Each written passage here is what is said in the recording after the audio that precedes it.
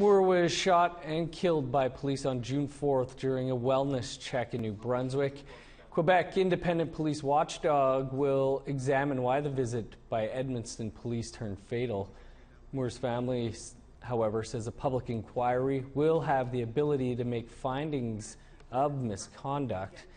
NWAC President Lorraine Whitman wants officials to pull back the curtain in this case because a coroner's inquest alone will not go far enough